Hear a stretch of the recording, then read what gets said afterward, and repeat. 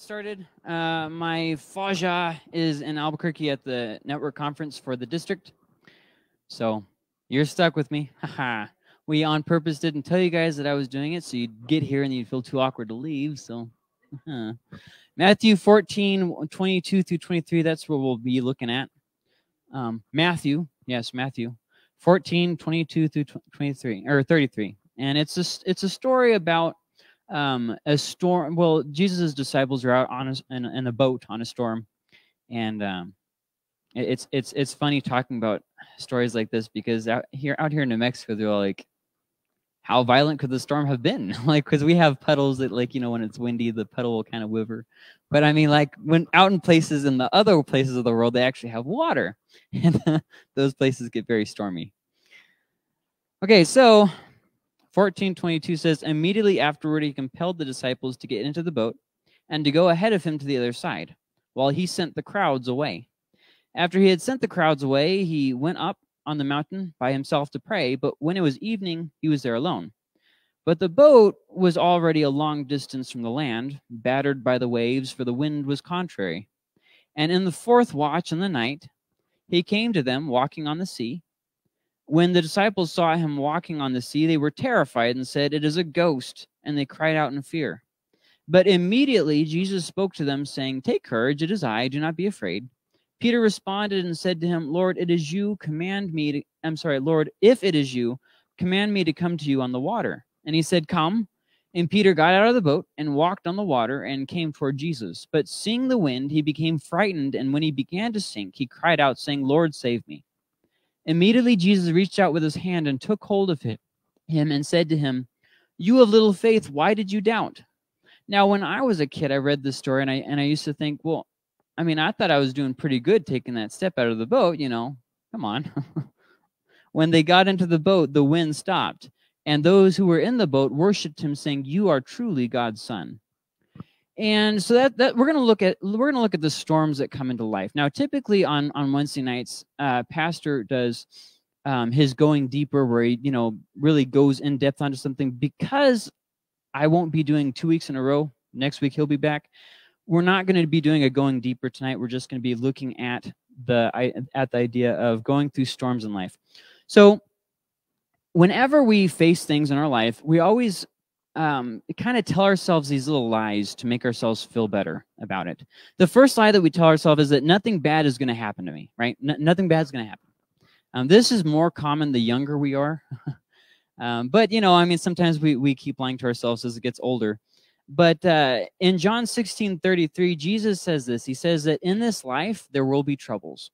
And I think that sometimes we kind of just forget that verse because I, I don't know why. We just whenever something bad happens, we are genuinely surprised. Like, God, how could you let this happen? Even though Jesus literally said, in this life, there will be troubles. And uh, so e- even, even when they were in the boat, Peter still had problems, right? The storm was still there. Stepping out of the boat didn't make the problem like all of a sudden there. I mean, they were already in the problem and it's the same thing for us you know we're, we're, we're going to go through struggles whether we whether we use them as an opportunity to seek god or not we are still going to face the troubles the second lie that we tell ourselves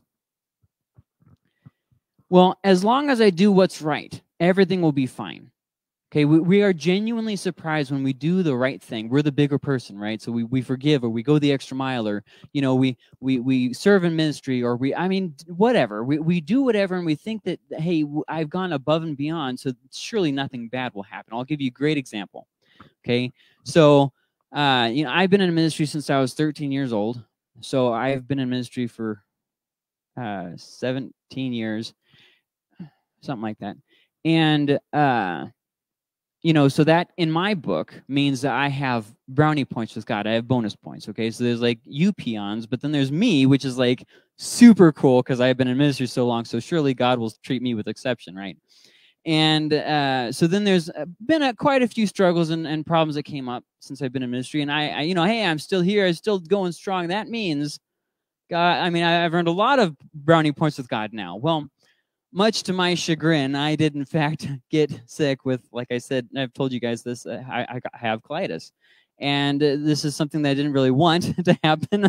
And the colonoscopy was definitely something I did not want to happen. But yet here we are. And one of the things that popped into my head was this just isn't fair, God, because I deserve better than this. I mean, I have the brownie points. I'm supposed to catch, you know, cash them in.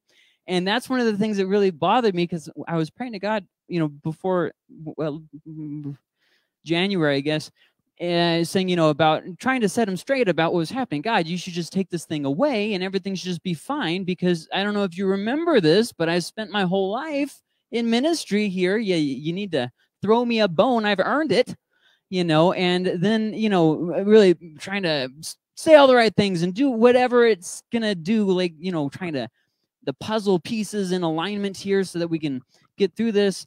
And then um, I remember God speaking very, very clear and said, it's going to be okay. I'm going to be with you, but you're going to have to do this. I'm not taking away. It's just it's it's going to be something you have to go through.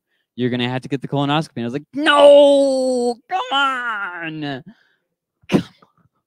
Yeah, well, actually, I get to do them uh, on repetitive cycles every five years, buddy.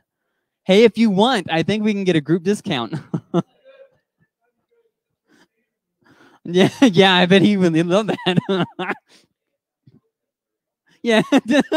oh my gosh, too many. So, anyways, as long as I do what's right, everything will be fine. Then, you know, eh, eh, God's going to see this and he's just going to throw me a bone. Well, that's not exactly true. um, in fact, one part, Jesus is preaching. Um, in Matthew, it's called the Beatitudes, the Sermon on the Mount. In Luke, I don't know what it's called in Luke, but uh, he says this, and I'm actually gonna gonna read it to you. It's from Luke chapter six and uh, it's it's also in, Ma- in Ma- at the beginning of Matthew, like Matthew five or six or something. But um, the one I want to read is from uh, Luke chapter six, verses twenty-two, and then through twenty-three. And this is just something once again that like we kind of come up with our own theology of what God should and shouldn't do in any given situation. Whereas in the Bible, he kind of says like, no, this is actually what how things work. So this is one of those examples. Um, Luke chapter 6, verse 22 through 23. Blessed are you when, when uh, the people hate you, and when they exclude you and insult you and scorn your name as evil on account of the Son of Man. See, when I was betrayed, when I had rumors going about me, I was like, hold on, this is not this is not fair. And meanwhile, God's saying, No, you're blessed when that happens. It's like, what? It was a nice gift, it was thoughtful. Where's the receipt? And so, verse 23 Rejoice on that day and jump for joy, for behold, your reward is great in heaven. For their fathers used to treat the prophets the same way. The main point being, being yes, do the right thing and suffer for it, and then rejoice for the suffering. And Peter says it a little bit differently. He says, Don't be surprised when, when people persecute you as if some crazy thing is happening. Uh, it's actually better that you suffer for doing the right thing than that you do the wrong thing and then suffer. So then the third lie we tell ourselves, well, hey, you know what? In the end, it'll work out. I'm in a pickle now, but somehow between now and then, they just, I don't know. I, I don't know the middle story, but it's going to just work out. It'll be fine. But if you look at the Bible, we see examples like this. John the Baptist, right? He, he did what God called him to do. He was a shining example. And how did that story end? He died. The story ended with him dying. So in the end it'll all work out. Well not necessarily. Sometimes god has us go through uncomfortable things and sometimes even death. Like so this is once again something that's not overly true. Um, now i do want to say you know it did work out for the church.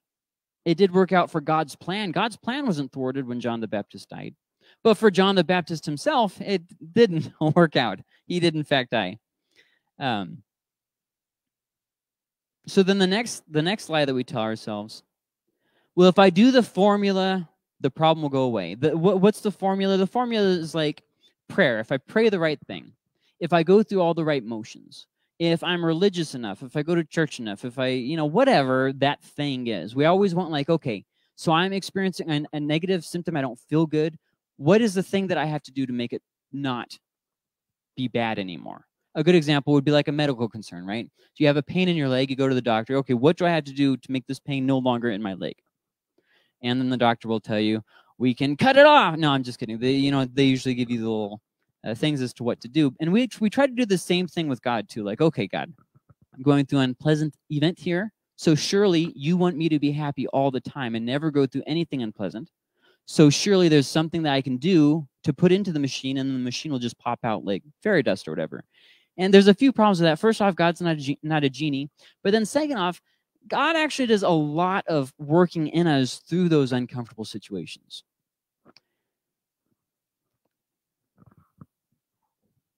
So we have this idea that hey, th- things will change if you do everything right, but problems problems don't just disappear all of a sudden. God can't be controlled. We we can't expect for if we do all these like certain things that somehow it's just going to push all of God's buttons correctly and so he's going to have to you know I, I I fasted God so now you have to answer me. You know like we we put the quarter in the machine now it has to you know give us the prize. But God God can't be controlled like that. He can't be tamed. He, he, you don't get to just control God just because you did a certain thing. Like I did my part God now you do the part that I think you should do. Um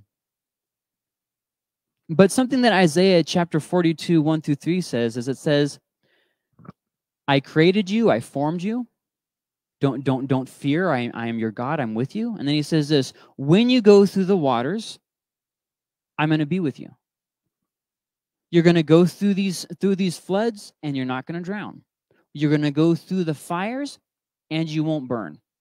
You won't be burned up or consumed. So you, yes, it's going to be uncomfortable, it's going to be painful, but if you're asking where that was, uh, uh, Victoria, it was Isaiah 42, verses 1 through 3. Um, and so he talks about the way that, yes, you will have to go through those things, but I will be with you through the process. So he says something very similar in the beginning of Joshua. He says, okay, you go out and conquer the promised land, but, you know, I'm going to be with you. Don't be afraid. And it's like, well, It's one of those things where, okay, yeah, it's easier said than done, though, God. Have you ever found yourself saying that where God says, hey, don't be afraid? And you're like, well, it's easy for you to say, you're God.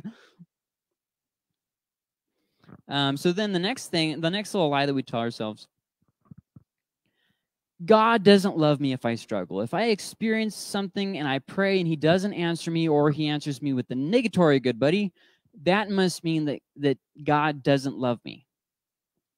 And the truth is actually um, way far from that. First off, he said the last thing he says in the Gospel of Matthew before the end the book ends. He says, "Okay, go out, make disciples of all nations." But the very last thing that he says in Matthew 28 verse 20 is he says this. He says, "And I am with you always even to the end of the age." I am with you always. So, oh, but I'm going through this struggle. I don't I am with you always he said in this life there's going to be troubles. Then we go through trouble and we say, This isn't fair, God. Why are you having this? And then he says, Well, I'm with you. And so we say, Well, well, if you're really with me, you take away all the struggles. And it's like, Well, that's not what I said at all.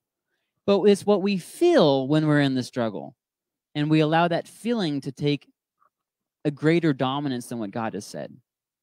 See, because I feel it is unfair therefore it is unfair. And meanwhile it's like well no no no no. Our feelings don't get to just decide what is what god should do. Um and then also there's this idea that okay god doesn't love me if i struggle. Does that make sense? If i'm going through a, problem does does that really mean that god doesn't love me? Let's think about this. God died for me. So clearly he does love me so that means whatever the misunderstanding is that's going on in my brain, it doesn't mean that God doesn't love me. It just means I'm not quite getting it. The next little lie that we tell ourselves what if so and so happens? We just sit there and we let our we let our minds go crazy, right? Well, surely I can stop it from happening. I can think out every possible thing that could happen and I can just work it through and just eh, use my brain enough to, to, to, to stop that from happening. I, I can do whatever or foresee all the problems. And surely there's some way that I can just stop the problem from happening. Well, the problem with that is that we aren't in control. God is in control. And in our lives, we like to feel like we're in control and a lot of people even have anxiety about this you know all the time because they're well i just don't feel like i'm in control and it's, yeah you aren't in control and so we try and do these little things to like lie to ourselves like no we're we're in control it'll be okay and it just doesn't really work out like that because we're not in control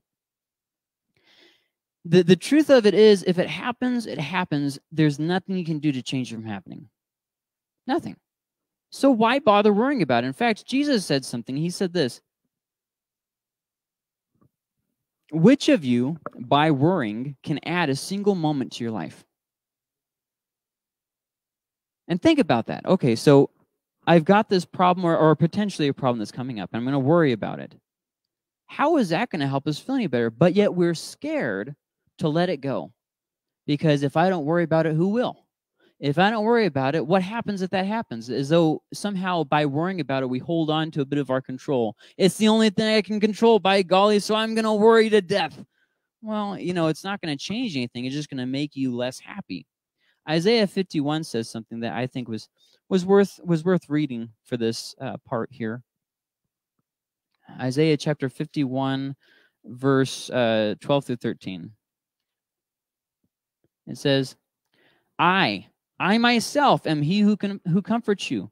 Who are you that you are afraid of mortal man and of a son of man who is made like grass, that you have forgotten the Lord your maker, who stretched out the heavens and laid the foundations of the earth, that you fear continually all day long because of the fury of the oppressor, as, as he makes ready to destroy? And where is the rage of the oppressor? And the part that I really want to focus on in this verse is this part right here where it says, I, I myself am he who comforts you, and then skip down. You have forgotten the Lord your Maker, who stretched out the heavens and laid the foundations of the earth. You fear continually all day long. And I think that that's just such a such a such a really relates to, to what we're talking about here. We forget, oh, but God, this is this is this big thing, and He's saying at the same time He's saying, well, now hold on, and I'll I'll read that part again because it's easy to miss. Um, I am the one who stretched out the heavens and laid the foundations of the earth. But God, this is so big, this is so scary. I'm not in control. I don't know, I don't know what to do. I laid the foundations of the earth. So it's like, well, I think that maybe we're getting our, our attention on the wrong the wrong part of the story. Uh, the the next uh, the next little lie that we tell ourselves, which which is a variation of one of the other ones, but um, God owes me. I, I, I'm a good person, so God owes it to me. There's, you know, basically it's unfair and unjust for God to treat me like he did. And uh, you know, then we even really genuinely get mad at God like this was this was not fair. You didn't handle the situation correctly. And you know, eh, God, it, you know, it's, it's your name on the line. You know, you're the one who's acting, you know, uh, unjustly. You, you're allowing me to be persecuted here. Well, let's look at two verses that I think really relate to that lie that we tell ourselves. The first one is Job 41 11, and it says this Who has been first to give to me that I should repay him? Whatever is under the entire heaven is mine. And another way that that could be translated is Who has existed first before me that I should repay him? In other words, I'm from eternity. Who has a one up on me? And it's like, well, that that, that's a good point. That that is a good point. Especially when you start uh, stop taking things for granted and start thinking, okay, so I have breath in my lungs because, well, God. I'm alive because, well, again, God.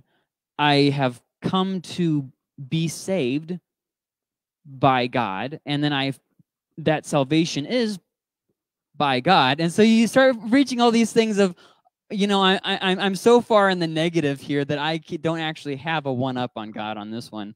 Uh, so then Hebrews, Hebrews chapter 6, verse 10 says this.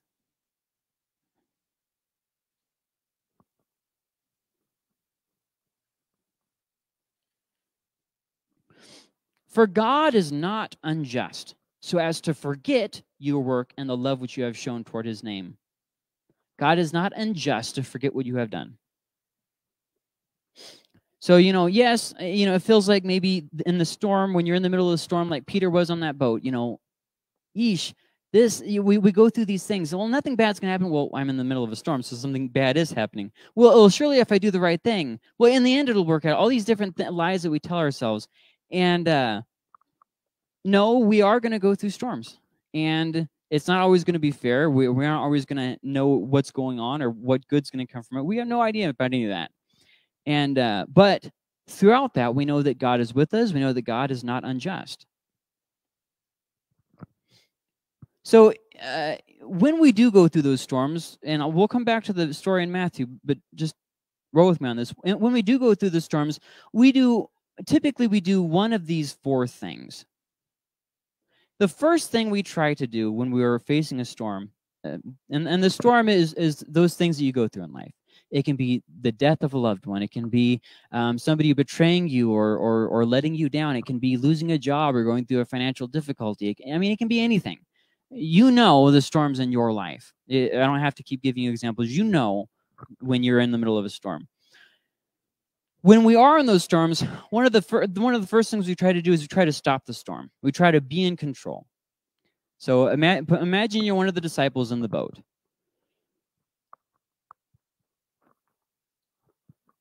It's not working. You know, it's it's it's that it's that vain attempt that we have to somehow assert our dominance over the situation, and we try and we try and treat our, our problems in life as though they were a rabid, not a rabid but but a, but a dog like we are cycling or something and there's a dog. You know, you plant your legs apart and you say, no. And the dog's going to be like, okay, bro, calm down, and then walk away. But that's not really how our struggles go. And it's as vain as trying to stop the wind by blowing into the wind. Or when it's raining, trying to just stop it and put it back up in the clouds. You just can't. It's it's not possible. But it's one of those things we try to do because we don't want to admit that we're not in control. And and the funny thing is, the more we try and tell ourselves that we are in control, the more we're we're going to be anxious about it because we're still trying to maintain control. It's like if you ever had a panic attack, right? You sit there and try to fight it or try to run or whatever, but if you just stop and let it happen, and it'll just run its course, and you're fine. You know, it's totally different.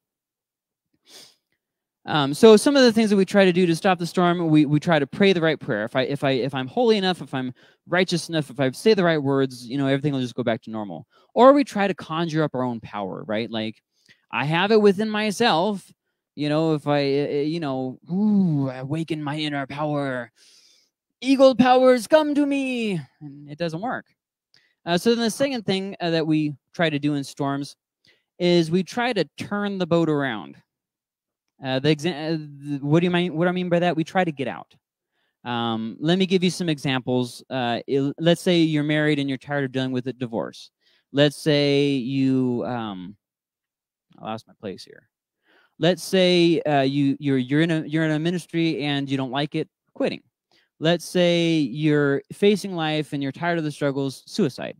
Whatever it is, trying to turn the boat around, trying to trying to just find the quickest way out of the storm because our brain tells us, hey, ow, pain, discomfort, get off as fast as you can.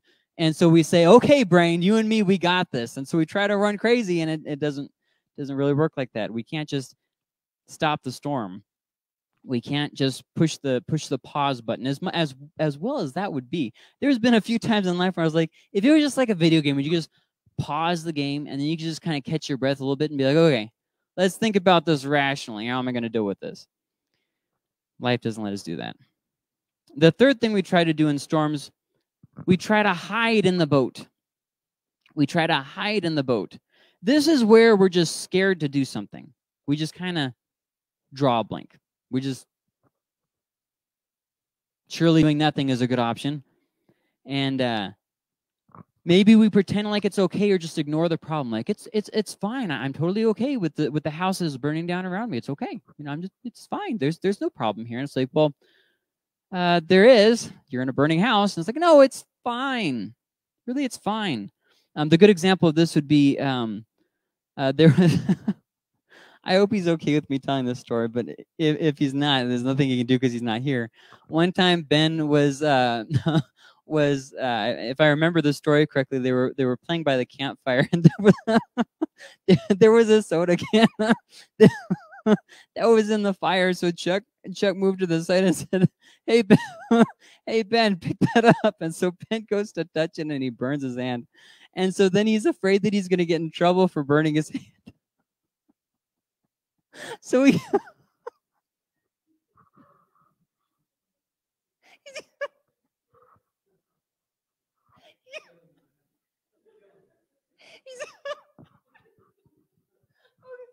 okay, he's afraid that he's gonna get in trouble for burning his hand. So, so on the way home, he's all, Mom, can I have a juice? And my, yeah, sure, Benny. and he, he's all putting it on his hand. Hey, Mom, can I have another juice? Sure, Ben. Hey, Mom, can I have another? What are you doing with all the juices? I burned my hand. oh my goodness. Oh, anyways, we laughed, we cried, it moved us. Um, oh my goodness. Uh, trying to hide from the problem, like, oh no, it's not going to affect me. It's fine. You know, I can just ignore the problem. It'll go away and everything will just kind of work out. Well, obviously, we see that none of these three options really resolve things. And that's that's the fourth option. And uh, I want to point something out. You know, the disciples are in the boat. All the disciples are in the boat, but the only guy that figured out that there was another option for him was Peter. The only one out of 12 who figured this out. All the other ones thought the only option I have is to be scared in the storm. That's it. I can cower in this boat, and, and that's my only option. Well, Peter uh, I know a lot of people make fun of Peter, but Peter, he's the only guy who comes up with, with solution number four stepping out of the boat. And this would be another way of saying this would be moving forward. You can't control the problems. You can't control that you're in the middle of the street. You can't control any of that. But Peter had a solution move forward. He didn't know what that meant. Why do you want to get out of the boat, Peter? Well, I don't know. What am I going to do? Just sit here with these guys? you know, I, I don't even know if he really thought this one through, but he, at least he realized that there was a fourth option. We can move forward in a storm. Now, that's difficult because we don't have any guarantee that the storm is going to stop. There's none. No guarantee. I, I remember when my son died, I, I, I was just heartbroken. How am I ever going to move past this? You know, it's never going to, you, you can't, you can't. But I, I do remember deciding, you know, if I don't remember him and take the time to grieve for him, nobody else will. Nobody else will even remember his name. So I felt like I couldn't move on. You know what I mean? Kind of like I had to just keep hurting perpetually. But I remember when I came to the day and thought, you know, I don't have to pretend like he never existed. I don't have to say, I'm going to be fine. But there's still more life. You know what I mean? I remember taking that step of, I'm going to move forward. And that's what we find Peter doing. He's in the middle of the storm. Things aren't going so well. God, Jesus isn't with us. That was our safety ticket. I know that, you know, hey, you know, if he's with us, he can do these things. I mean, he just fed like 5,000 people. But that was then. This is now. He's not with us. There's a freak storm here. What the frick are we going to do? And meanwhile, Jesus comes walking in the storm and they're like, holy crap, it's a ghost. And so then that ghost turns out to be Jesus. And like, oh, well, that was a bullet dodged. And, uh, and, uh, as they're in the middle of this, there's their hope. And Peter is the only one that has the brains to say, hey, maybe if I get closer to that guy, maybe things will be better. I don't know exactly what that entails, but hey, I can walk out of this boat, you know, if you'll give me some encouragement in the matter. So sometimes though when we move forward, we do we try to do it without trusting God. We try to like we're like we're embarrassed to fail. So we try to show our independence to God, right? Like God, and, and then when, when we when we break when we break and we come to God and we say, I just can't do it, God, I, I, I failed and all this stuff. And the meanwhile, God's like saying, What what are you even talking about? I didn't say you had to be independent of me. I said I wanted you to depend on me. Well, I wanted to be able to work through the situation and to and to why? So that, that's more of our hangup than God's. Sometimes we try to find the power in ourselves and it just never works. But you know, the thing about this is, and I think Peter shows us this when he steps out of the boat. Just kind of, I'll, I'll read this part again, okay? So I'll start in verse 24. The boat was already a long distance from the land, battered by the waves, for the wind was contrary. And in the fourth watch of the night, he came to them walking on the sea. I'm sorry, the fourth watch of the night. He came to them walking in, on the sea. When the disciples saw him walking on the sea, they were terrified and said, It is a ghost! And they cried out in fear. Ah! But immediately Jesus spoke to them, saying, Take courage, it is I. Do not be afraid. Peter responded and said to him, Now keep in mind, Peter's the only one who has the guts to say anything. Remember this, okay? Peter responded and said, Lord, if it is you, command me to come to you on the water. You know, that's exactly the, the kind of a trick that a ghost would do. Oh, yeah, I'm Jesus. Come here so I can eat you and suck your soul, right? Like, yet Peter, he just, I mean, why did you even need Jesus to say something if you were that trusting? Why didn't you just walk out of the boat and, eh, anyways? So Peter responded and said to him, Lord, if it is you, command me to come to you in the water. And he said, Come.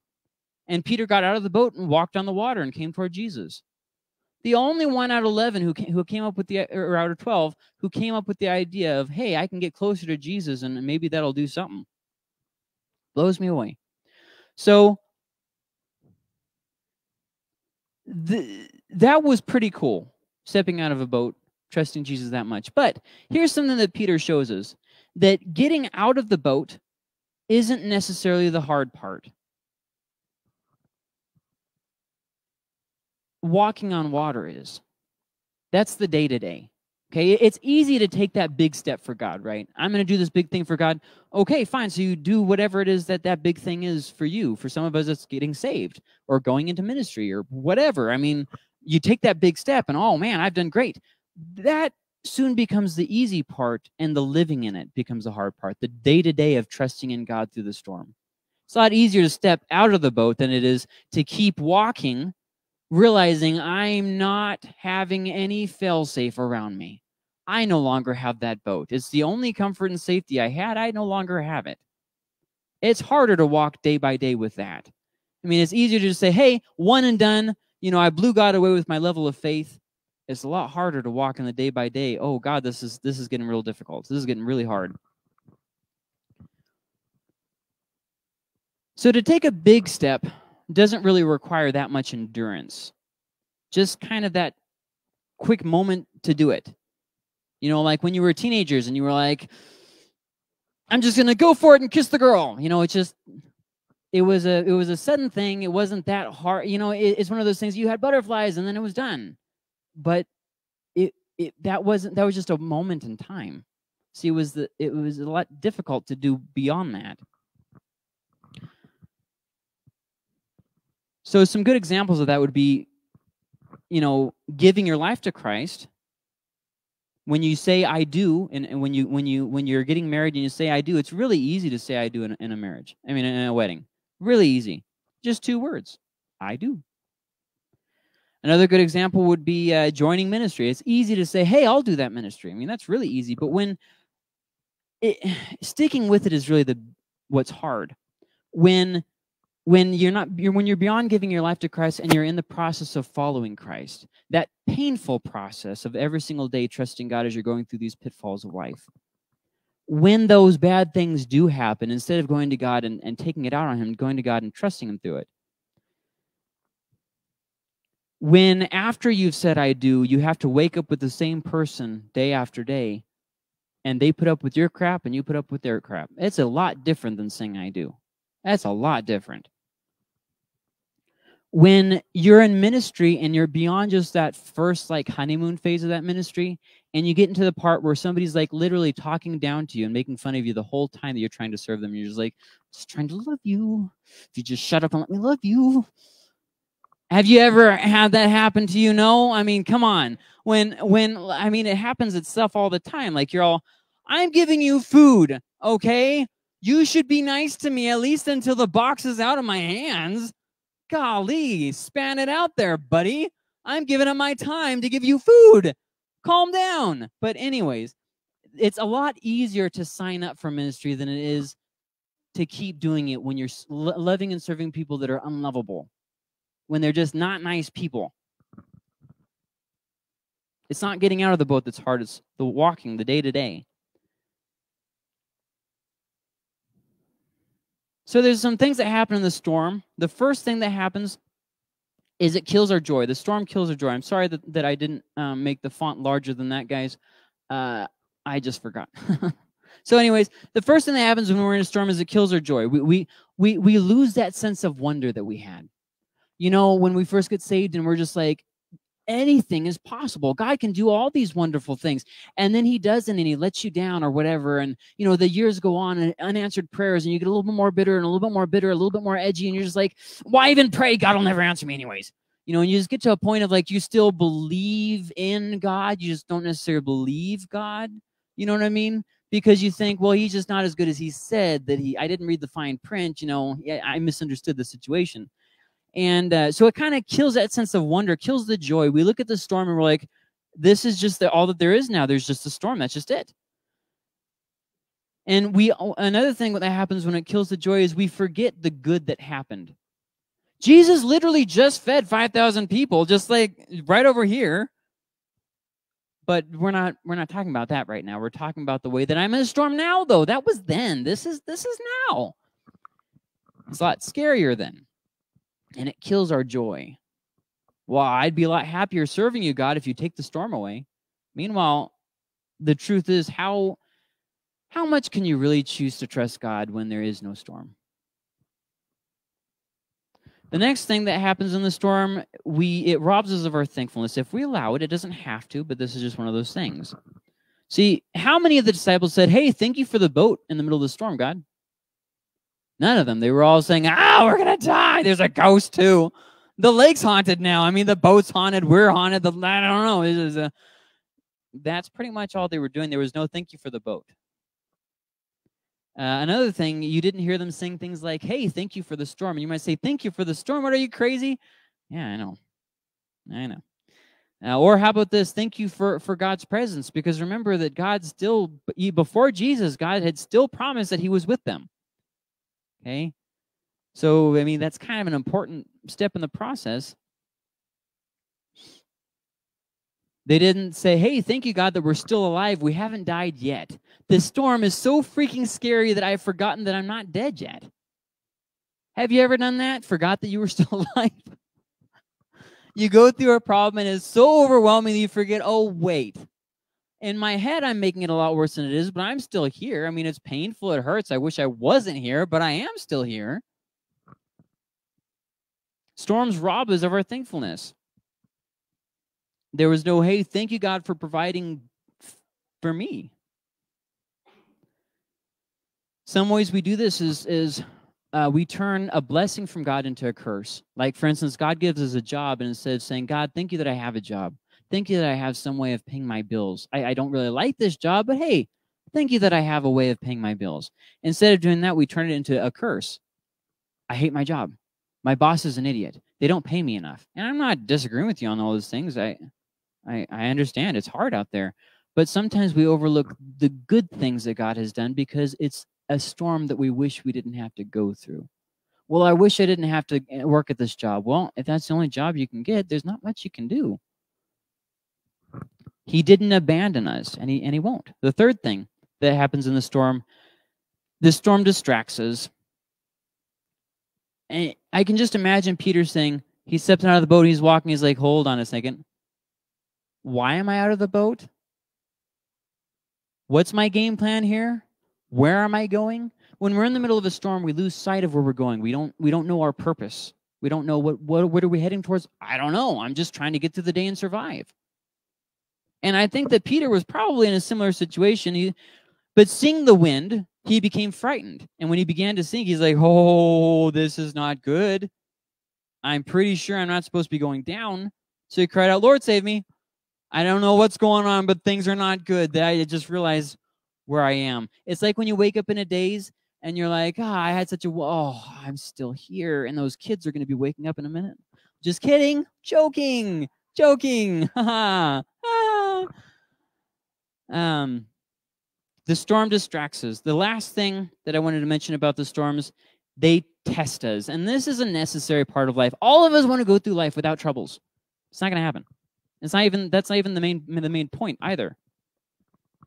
The, when we're in the middle of a storm, it tests our motives. We we go into a thing and we say, you know what? I'm a really noble person. I just really I'm good. I, I'm just I'm good. And then we go through troubles and it shows us our heart and it helps some of that ugliness come to the top. I'll give you an example.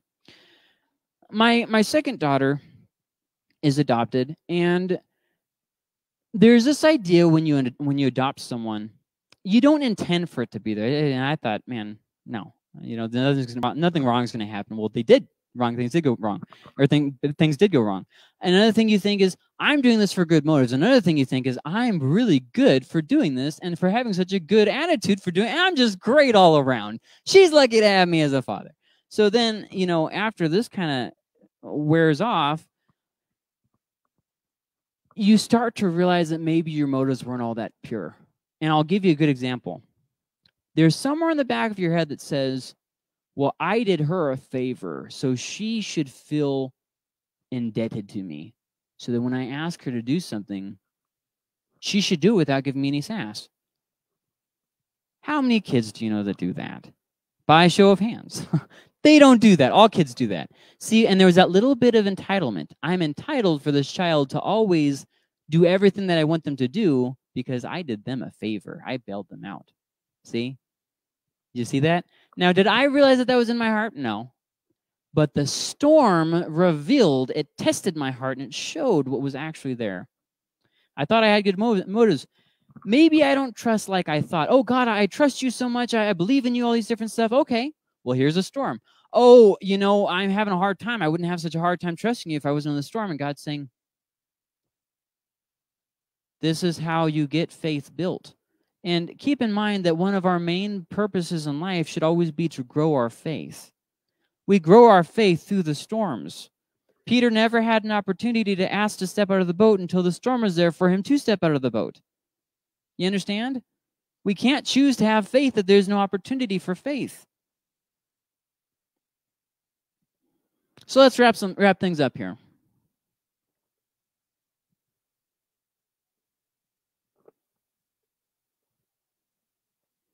So God brings by these storms to bring us to a deeper level of trust. I was watering my my plants the other day, and I was holding the hose because the hose didn't quite reach. I was doing that little thing with the you know the thumb where the cold water freezes your thumb and you can't even feel it anymore. And you're like, am I even squeezing anymore? I, I don't know. I mean, you just keep doing it, and you're like, well, I guess I'm going to do it. It's working so far. Just... so I'm trying to do it, and I'm watching this this bottom branch of this of this tree. And It's going like this, and I was thinking you know, a lot of things that I have to do is very, are very scary, but this isn't very scary. But on that branch going this was a little bug. And so I thought, and I realized for a minute that for that bug, watering the tree was very scary because his whole world was shaking up and down. And then I, I had a little bit of a revelation. Ah, you know, light bulb moment and everything. right? No, that's not the revelation that I had. The revelation that I had was that I started thinking, you know, it's scary for me because of my perspective. I'm like the bug on the on the on the branch. There's nothing scary. No, nothing scary is happening right now. I'm scared because I'm that bug on the branch. Meanwhile, if I had God's perspective of the whole thing that was going on, it's not as bad as I'm making it out to be up here. And that's kind of what happens when we go through storms in life. For us, it, the whole world is shaking, but in reality, it's just a just a little of a branch. I mean, it's, it's nothing. Because God never lost control. And we say, but what if the situation kills me? God will carry us even through death. The Bible promises that. He doesn't promise that we'll never die. Come on. you can't hold that against God. So, uh, you know, living with colitis is, is hard, but Christ is here. He's with me through the struggle. It's, it's hard to have chronic pain, to have chronic health issues. That's, that's hard. And there's lots of people who I know in this very church who go through much worse than I have it. I just have days of pain, just every once in a while. There's people like Lauren, for instance, who's who has occasional days of not having pain. I mean, things could be a lot worse for me. And uh, no matter what the struggle, if we fix our eyes on Christ, He will meet us there. He'll meet us in that storm. Do you, do you, do you think it's coincidence that Jesus showed up right when the disciples needed him in the storm? Do you think that's coincidence? How many times in life do we go through life like that? We're in the storm. It's very scary. Oh, look, it just so happens that you have the means to do this, or you have the counselor that'll talk you through this, or you have the, the medicine that'll get you through this. Or, see what I mean? It's just like, oh, it just so happened to work out. And it's like, well, who do you think is working that out, though?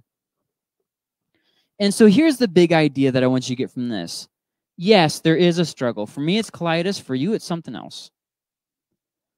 But Christ is there. You still have the struggle. For me, I still have the struggle in my body. It's very frustrating some days. Not every day, but some days. I still have the struggle. Oh, sorry. I still have the struggle in my mind trying to maintain the right outlook, trying to not let it, let things keep me down. I still have the struggle in my emotions, trying to not let depression and anxiety win. But Christ is still with me. Well, if Christ is with me, I shouldn't have to go through that. Well, who who told you that? You're gonna go through problems. Jesus said, in this life there will be struggles. That's the way of it. You can complain or not like it. Okay, that's an option for you, but it's not going to change anything. So in life, you can come to one or two, con two conclusions, and I've summed them up with two statements. Number one, you can either blame him for the storm or thank him for getting you through it. And oftentimes in life, you're going to find yourself wavering between the two, and that's okay. It's all right. Okay, really, it's it's okay. God doesn't expect a, perf a, perfect performance. He expects through the struggle for you to lean into Him. That's that's really what He asks for is our heart. And the second statement that I can summarize this in, in you can choose to either curse him for the bad days or trust him through the bad days. You still have to go through the bad days. It's just you can blame God for it and get all angry with him, or you can you can trust him that he'll get you through the process. And I think that that's kind of what I got out of this story going dealing with the issues that I've been going through. And um, so, okay, Lord, thank you for this day, and thank you for all the things you've you've uh, been working through As Lord. Help us help us to to notice more of how you how wonderfully you've been working in our lives and the things that we just take for granted. You know, all, all the all the prayers that you've answered and, and the things that you bless us with and, and, and situations that, that that could have been so much worse that we just never said thank you for. We never even noticed. Lord, help us to be thankful in our heart, even in the middle of the storm. Because even when a storm does surround us, we, we still have the boat. We still have you. So Lord, I pray that you would bless us as we go throughout the throughout the week and, and be with us, help us to help us to work through our fears and, and, and to and to trust you through the storms. And uh, Lord, that you would help us help us uh, go through the weeks uh, with strength. We love you, Lord. Amen.